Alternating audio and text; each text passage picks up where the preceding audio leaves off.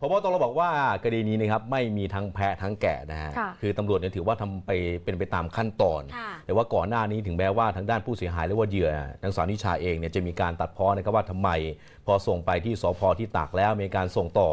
ไปที่ศาลเลยมีการฝากขังนะฮะก็อย่างที่ได้ได้บอกไปนะครับว่ามันเป็นขั้นตอนของตำรวจนะฮะต่อไปเนี่ยคือว่าเดี๋ยวตำรวจต้องมีการรวบรวมพยานหลักฐาน ส่งนะฮะหลักฐานไปเนี่ยที่บอกว่าจะไม่มีการฟ้อง แต่เมื่อวานนี้เรียกว่าเคลียร์พอสมควรนะว่าตกลงแล้วเนี่ยคือทางด้านนางสาวนิชาก็เป็นผู้เสียหาย แต่ว่าอย่างไรก็ตามครับ เหตุการณ์แบบนี้เนี่ยที่ว่าต้องมาเตือนภัยกัน อย่างรูปแบบของโรแมนสแกมครับที่เราพยายามที่จะย้ำกันหาหากว่ามีคนนะครับมาพูดคุยกับคุณผู้ชม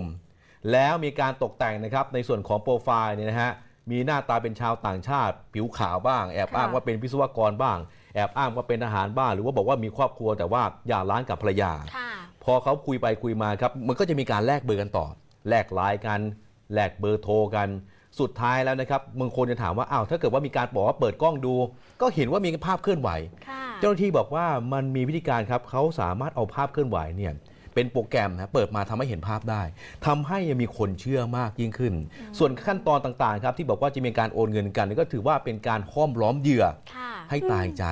นะฮะ หรือว่าจะเอานำนำเรื่องของสมบัติเนี่ยเอามาลวงเหยื่อ พอเชื่อแล้วสุดท้ายฮะมันจะมีทั้งรูปแบบการที่นำสมบัติเนี่ยขึ้นเครื่องบินมา ค่ะมาลงที่สนามบินบ้าง เอาออกไปได้ก็เอาช่วยโอนเงินมาหน่อย ค่าธรรมเนียม หรือเป็นเรื่องของที่ดินบ้าง ค่ะ หรือว่าจะส่งของมาบ้าง หลากหลายรูปแบบนะฮะต้องระวังกันด้วยนะ